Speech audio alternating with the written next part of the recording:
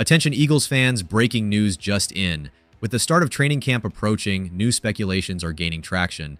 The Philadelphia Eagles are eyeing a significant impact player to bolster our defense. However, this choice is dividing fan opinions. Curious? Then stick with me. But first, take a moment to check if you're subscribed to the channel.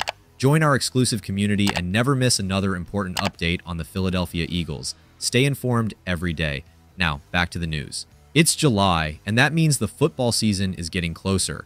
With training camp on the horizon, there's expected to be a lot of movement in the NFL, including the possibility of new signings and trades. One player who might be on the Philadelphia Eagles' radar is Seattle Seahawks defensive end Darrell Taylor.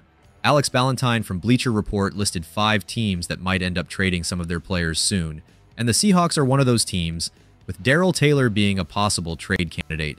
Although the Seahawks haven't exactly acted like a rebuilding team this offseason, they are still in transition under new head coach Mike Macdonald, who replaced Pete Carroll.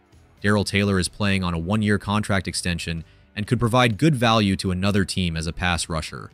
Over the past three years, Taylor has accumulated 21.5 sacks, but the Seahawks didn't sign him to a multi year extension this offseason.